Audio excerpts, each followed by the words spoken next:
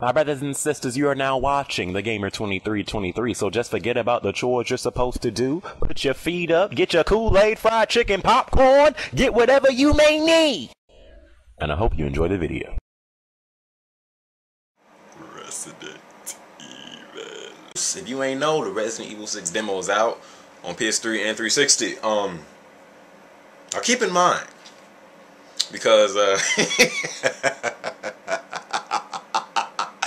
keep in mind that um a lot of people ain't really feel feeling this demo. And um in this video I'm, I'm, gonna just you know discuss my thoughts about the demo. I played with um Leon Chris and Jake. And uh, you know I, I just wanted to give my thoughts about the demo. But before we even get into that let's realize this. This is a demo. A lot of people saying that this game sucks now. And uh yeah. This is a demo but being as it, that it is a demo, I do have to judge Resident Evil 6 based off of what we played so far, and we've only played the demo. But just still keep keep in mind that this is a demo. Now, um, Resident Evil 6, some pros and cons of this demo. You know, some pros are the running feels a lot smoother, and the turning around, like in Resident Evil 5, the running it just felt clunky the turning around felt clunky. I noticed in this one it feels a lot more smoother. You know, it works the same way, the same way you ran in Resident Evil, uh, Evil 5. You press the same controls to run in this game, but it just feels more smoother, and they're actually like running instead of like doing a freaking shuttle. Let's go. You know, something as small as that.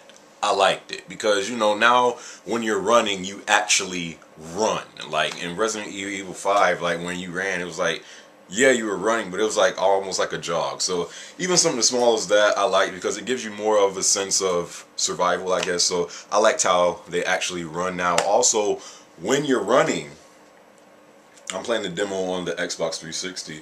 I don't know why, but uh, you know, um, when uh, you're running on Xbox, it's the left trigger. So on PS3, it should be L2. Um, so if so if you're running on Xbox, you press the L the LT button, or on PS3 you press the uh, L2 button, and when you're running and you and you press that button, you'll then like slide on like the ground. And when you're sliding on the ground, you can do that to get behind cover, or you could run and slide and shoot your gun while sliding on the ground at the same time. So I like that a lot. You know, it gives you like a good way to get to cover quickly or a good new way to take out some people that's like that's like ahead of you and you know you're down on the ground sliding. So I like that a lot. Um, the cover system in this game which I wasn't too uh, fond of you know when you hear a cover system in Resident Evil you're like what the heck do I need a cover system for? I'm shooting zombies. I'm gonna get back to that later but the cover system in this game works surprisingly well because you know um, you're not used to having a cover system in Resident Evil. But I, I think the reason why it works so well is because it's pretty much like the Gears of War cover system. You know, when you're in cover, you can uh, peek over cover, then get back in it, or you can peek around the corner, then get back in cover, or you could jump over it. You know, so it works a lot like Gears Gears of War, which is probably the reason why it works so well. But it worked for this game, so I had no complaints with that. Also, um, your partner actually does help you in this game. There was a lot of the times when I was playing with either Leon, Chris, or uh, Jake, and I was actually like like zombies like knock you to like the floor and then like they try to like freaking pounce on you or something. Like I noticed when I was always in those situations, your partner will actually stop what what they're doing, go over to where you are and like kill whatever is around you. So I actually did notice that your partner actually does help. Like they're not stupid. So I thought that was impressive. But as far as the pros go, I think that's all the pros I found in this demo. So let's get to the cons. However, before I get to the, cons, I will say this. Um, what I noticed is whatever character you're playing as, it really changes up the gameplay. So if you're playing with Leon, you feel more like you're playing that classic Resident Evil. You know, you're in the dark a lot more. You're going around these dark corners, these dark rooms. You can't really see nothing. You know, more scary moments. I well, as close as we can get to scary moments these days in Re in in, in, in Resident in Resident Evil. what is wrong with me today?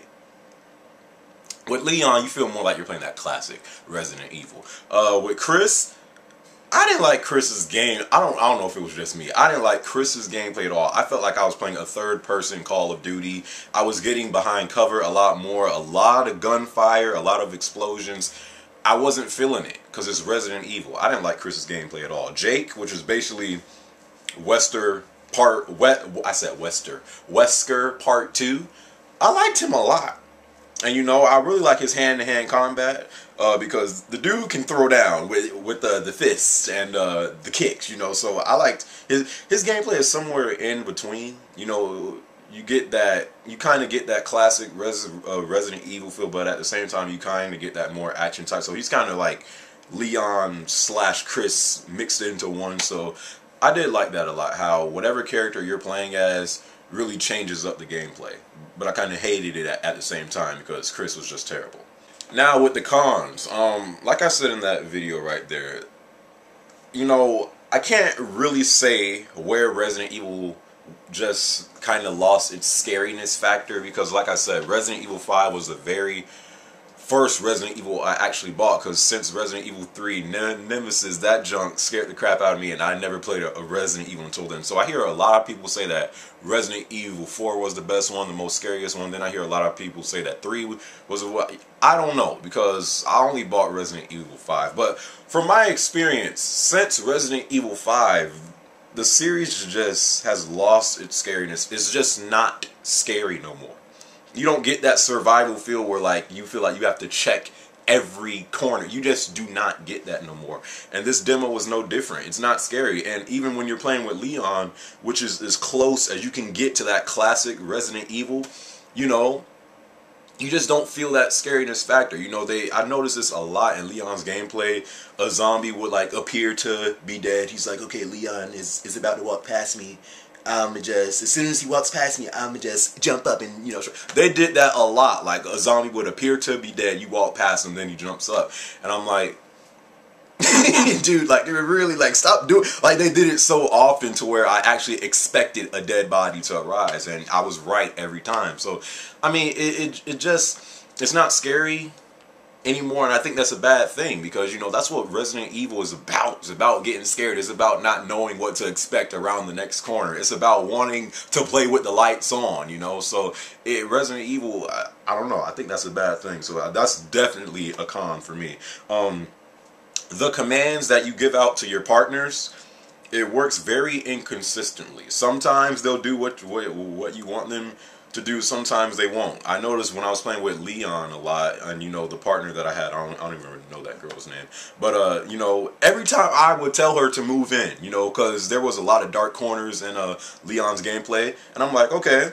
I'm not scared, but I don't want to just go in there. So let me send him. So let me send my partner in there. Every time I would say move in, she's like negative, no, and I'm like, dude, like how does this work? So I'm not sure if the if, if the CPU AI move, move, like moves in when they think it's completely safe, I'm not sure how that works. But the only command that they consistently followed was the follow. Like, come on, follow me. That's the only one they consistently followed. They didn't follow move in, uh, uh, freaking, uh, stay here. They, they, they just don't follow it. So I'm not sure how that whole uh, partner command thing works, but it, at least in this experience in the demo, it was very inconsistent. Um, last but not least, uh,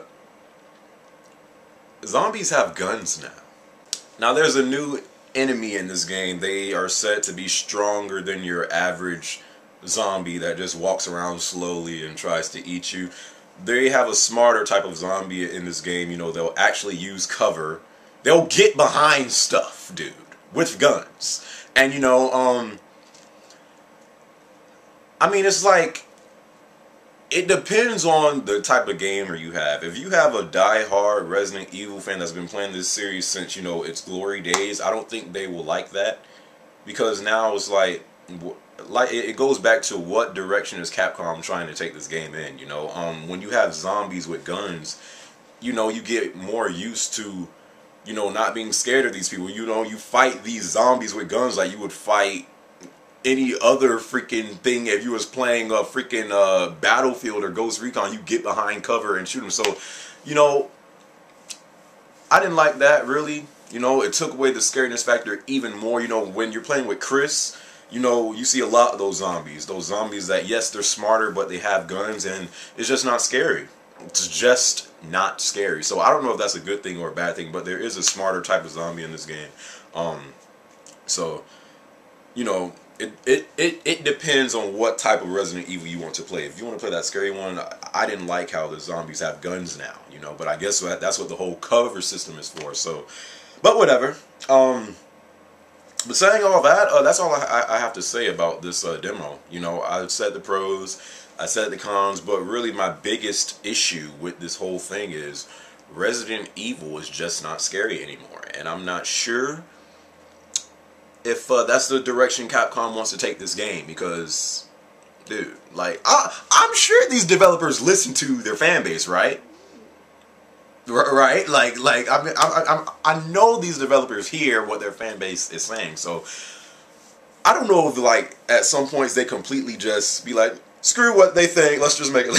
I don't know, but um, it's definitely going in a different direction, you know. Um, but like I said, it goes back to you know whatever character you're playing as is going to you know change up the gameplay. So if you still kind of want that classic Resident Evil feel, you can play as Leon. If you want that basically Call of Duty third person, you better be playing as Chris. If you want somewhere in in between, then you can play as the second coming of West of of Wesker. And uh, you know that's all I have to say about that. But uh, I hope you guys enjoyed this video. Leave thoughts about what you thought about the Resident Evil 6 demo and stuff like that, or a video response. And until then. I greatly appreciate if you rate the video. It doesn't have to be a thumbs up. It could be a thumbs down. But what I do ask everybody and ever says is just so saying that. I'll catch you guys in my next video. And by the way, I probably will not be getting this game on release because I just don't look at it as a must buy, to be honest with you. Uh, to be honest with you. Uh, but saying that, I'll catch you on my next video, alright? Peace.